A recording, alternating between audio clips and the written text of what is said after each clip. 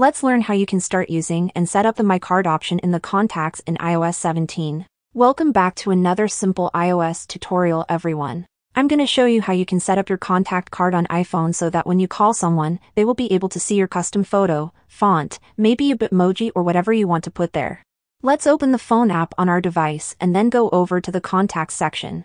You want to make sure that you are at the very top in here, and at the top you will be able to see your name and it will say my card so just tap on your card to open it. Once you open it it's gonna look something like this, and the next step for us is to click on this button that says contact photo and poster. Once you get here, you want to make sure that this name and photo sharing option is enabled and that the share automatically is set to contacts. That means that anyone in your contacts list who has iMessage enabled will be able to see your contact card with the poster and all that stuff once you customize it. Let's tap on this edit button and that's going to bring up this poster section. If you have any posters, you can tap on the customize button and then add images and fonts and other stuff. But I want to create a new one so I'll just swipe until I can see this empty card. That's what we need so let's just click on this create new button in order to create and customize a new contact card you're gonna get a little preview with four different options from which you can choose from. You can open the camera directly to take a photo, you can open your photo gallery, you can add a bitmoji or this monogram which are your initials. I'm gonna open my photo gallery and select a photo for my contact poster.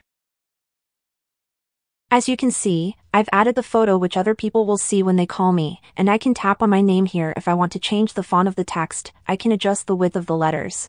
I can select a specific color which I would like to use for my name, so you can take your time here and customize this to your liking. When you're finished just tap on the Done button at the top right corner of the screen. We'll get a preview on how this will look like. I think it looks pretty cool so let's go to the next step and continue. We'll have to set up our contact photo now. You can leave the same photo like you have on your poster, or you can click on this choose a different photo option at the bottom and you will have a couple of different options. You can also open the camera, you can open your photo gallery and select a contact photo to your liking, you can add your initials only, or you can add an emoji and stuff like that, whatever you like. But I'm just gonna leave it like it is. And as you can see, I've created my card in the Contacts app on iOS 17. When I call someone now, this is what they are going to see on their screen. And when other people create their poster and they have the photo sharing option enabled, you will see their poster automatically on your screen. But you can go over to the contacts list and open a specific contact. And you can customize their contact photo and poster to your liking. So you can set a custom photo for a specific person if you don't want to see their contact card that they've created. If you don't like their poster, you can create a custom one for that contact by clicking on the contact photo and poster option and then just repeat the process. Go through the same steps as you did when you created your contact card in the Contacts app. And that's about it for this video everyone.